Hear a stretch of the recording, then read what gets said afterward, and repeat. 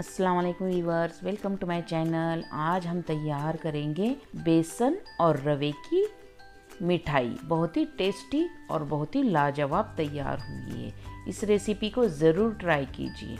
चलिए स्टार्ट करते हैं।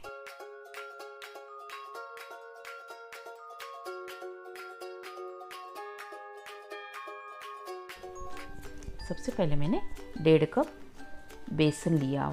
ये एकदम फाइन बेसन है। अब इसे हम अच्छी तरह छान लेंगे ताकि उसके अंदर की जो गुठलियाँ हैं, वो अच्छी तरह निकल जाए।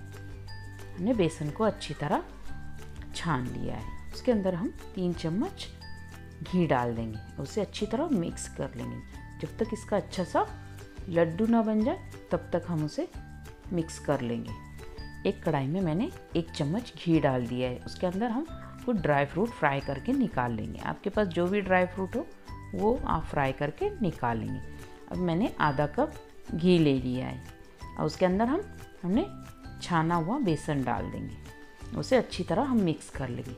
मैंने लोहे की कढ़ाई ली है। बेसन की कोई भी चीज़ बनाने के लिए, भूनने के लिए आप लोहे की कढ़ाई का ही इस्तेमाल करें। हमने अच्छी तरह मिक्स कर लिया है। अब उसमें आधा कप बारीक वाली सूजी डाल देंगे।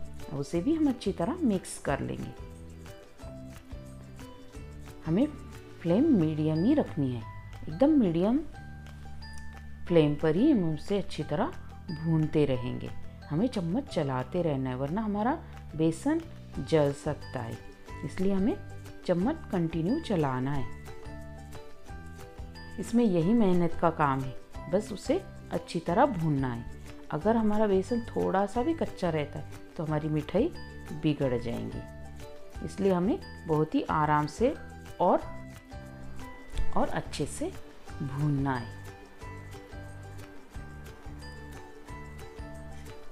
जितनी अच्छी तरह हम बेसन भूनेंगे, उतना ही टेस्टी हमारा मिठाई तैयार होंगी।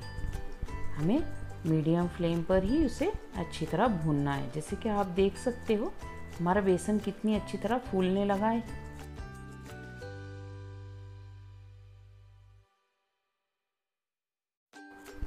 जब तक हमारा बेसन अच्छी तरह गोल्डन ना हो जाए, तब तक हमें भूनना है। इसका यही एक मेहनत का काम है। इसे हम अच्छे से भूनना है। जितनी अच्छी तरह हमारे भूनेंगे, उतनी ही अच्छी तरह हमारी मिठाई तैयार होंगी।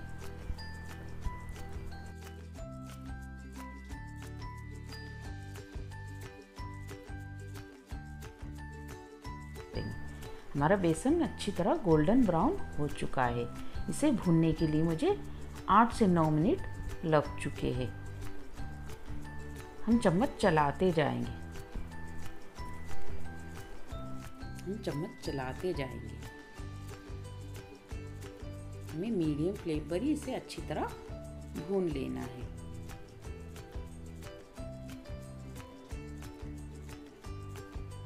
अब हम गैस ऑफ़ कर देंगे और चम्मच चलाते जाएँगे। इसी वक्त हमारी लोहे की कढ़ाई काम आती है, क्योंकि हमारी लोहे की कढ़ाई है, इसलिए ज़्यादा देर गर्म रहती है।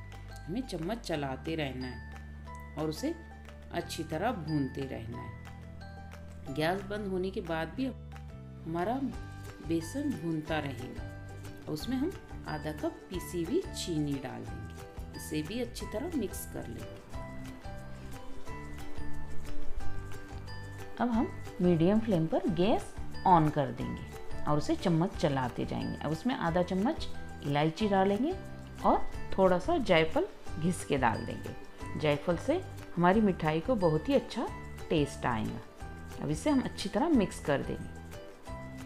मीडियम फ्लेम पर ही इसे हमें पाँच मिनट तक अच्छी तरह भून लेना है। गैस ऑफ़ कर देंगे। अब एक केक टीन में हम घी से अच्छी तरह उसे ग्रीस कर लेंगे। अब इसे हम चम्मच चलाते जाएँगे, क्योंकि हमारी कढ़ाई अभी भी गर्म है, इसलिए हम चम्मच चलाते रहेंगे, वरना हमारा बेसन जल भी सकता है। अब उसे हम केक टिन में डालेंगे। इस तरह हम थोड़ा थोड़ा डालते जाएँगे और उसे अच्छी तरह सेट कर देंगे। जैसे कि आप देख सकते हो, मैंने किस तरह किया इसी तरह सेट कर दे। अब उसके ऊपर हम, हमने फ्राई किए हुए ड्राई फ्रूट डाल देंगे। आपके पास जो भी ड्राई फ्रूट हो, वो आप डाल सकते हो।